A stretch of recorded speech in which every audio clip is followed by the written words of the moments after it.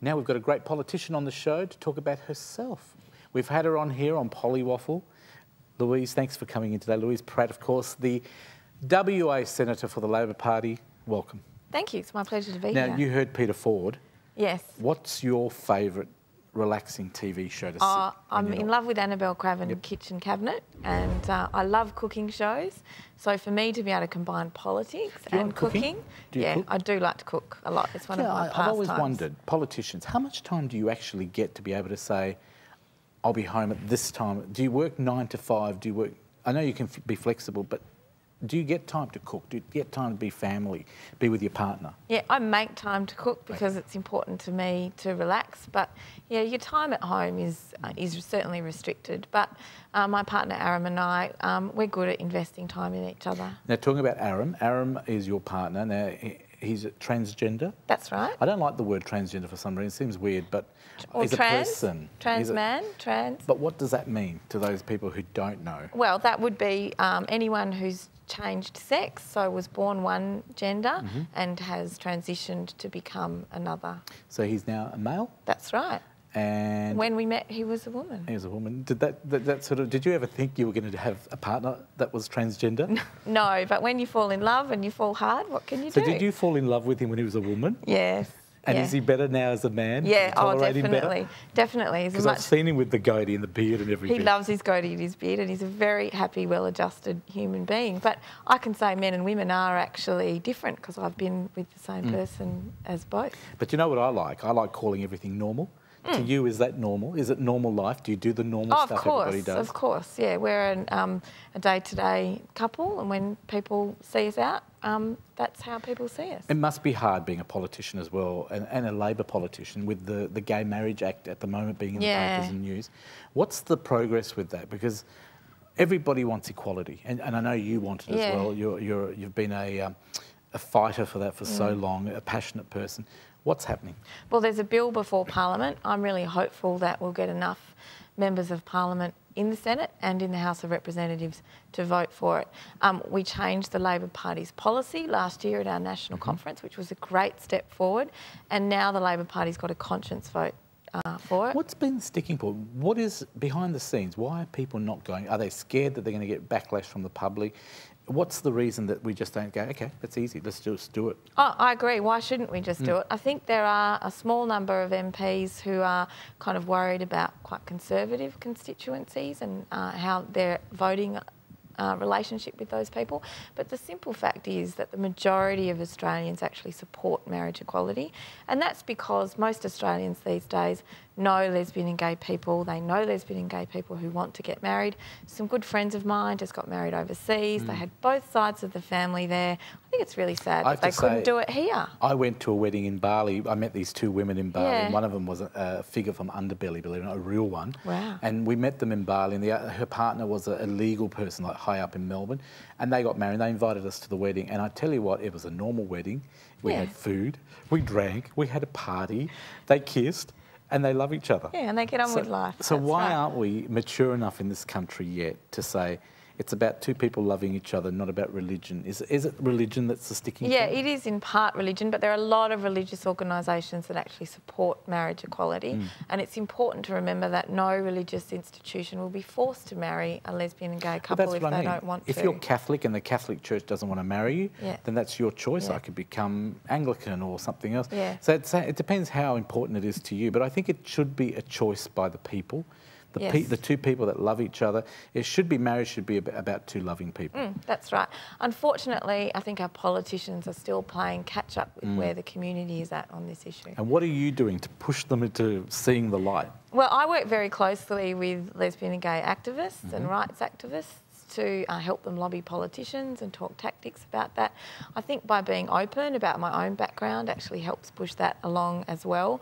To have people in the parliament like Penny Wong and myself who've been affected by Mm. discrimination, um, I th- that also I think Do we have any gay people that are open on the Liberal side? No, no, No. sadly. They- may well be there, but they're not open, unfortunately. it's, it's, it would be good if you could get someone from the other side actually coming out and saying, Yeah, look, I support There are certainly supporters of marriage equality on the other side. Uh, we're trying to give them time to become more public about it so that hopefully we can get a positive vote before the next election. Was Bob Brown supportive? yes, well, and now he's left the parliament. that's right. But um, there, yeah, he, he he's, was Well, another we saw- First MP. time I saw him on the TV on his resignation with his partner there, I thought it's a shame we haven't seen him many more times, but it was nice to see and it's very accepted. yeah, they've been Normal. quite, they've been quite a uh, generally a, an out, but quite a private couple. What else are you passionate about? Because I know I, I wanted to ask. Actually, I want to ask you why you chose to go into politics. Yeah. I know you want to make a difference, but was there other reasons? Well, I joined the Labor Party because I believe in addressing inequality. I do think inequality is bad for society. So when people Where do you see inequality? disadvantaged, well, you see it in economics. So people who have very low incomes and are unemployed for a long time, and you get those generations of people where they've got, had unemployed parents, and that results in unemployed children. And you've really got to work out what to do about that. None of us can help being born the way we are into the families that we're being born into. So we've got to help people uh, make the most of their life. And you're also passionate about business. You've got a business background. Tell me about that. Yeah, well, look, uh, it's part of it. I think comes from being Western Australian because we're a really strong economy, and uh, there's a, uh, the mining boom is doing great things for much of the state. But there's also a lot of inequality there, um, particularly for businesses that aren't in the fast lane. So, to my mind, it's things like the minerals resource rent tax gives us a chance to deliver on our labour values by um, allowing uh, small businesses to get some of the value from that. What are the things that really piss you off about being a politician? What, what are the things that really annoy you? The things that you don't like? Oh, look, I'm not particularly good at the question time, cut Mm. and thrust, and the kind of. It's a little bit like being back in the classroom at school, and I don't, I don't particularly like that part of uh, being in politics because. Um, yeah, I, I'm not one of those kinds of kids You're from the yeah, yeah. I'm not one of those kids at the back of the classroom, just kind of throwing out lines to people across So the you wouldn't be the type of person that likes policy thrown at them and rules and conditions.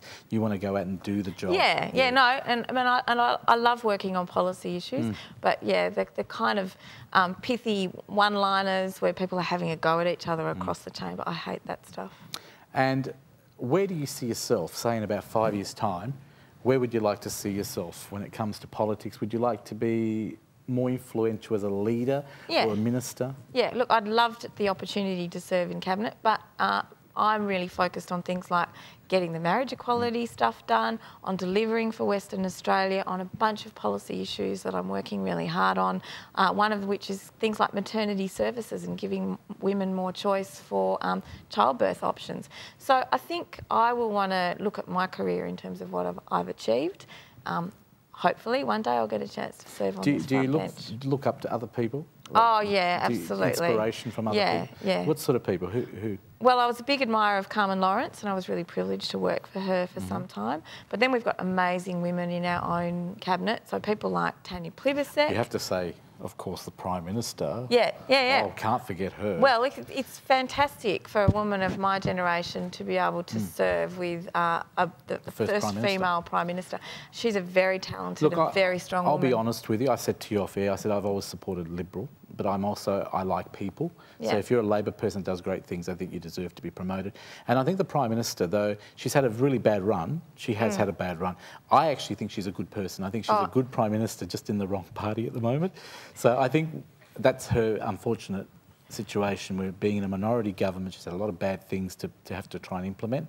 And you know what? We have to give it to her. She's got through some policy things that nobody thought she'd ever get through. Well, in being in minority government, all the, the many hundreds of pieces of legislation that we've pa- passed, uh, dealing with the balance of power, dealing with the independents, actually the nation's achieved some wonderful things under her leadership. I think so too. And now, under your leadership, what's happening in Parliament for you? What's what's the next few weeks got in store? Well, in fact, uh, over the next few weeks, we've got the budget coming up. Mm-hmm. But before that, uh, the Legal and Constitutional Affairs Committee that I'm on is doing an inquiry into the marriage bills that are currently before the Parliament. Beautiful. So you're going to come back and update us on what's happening? Very happy to do And what are you going to be doing over the weekend?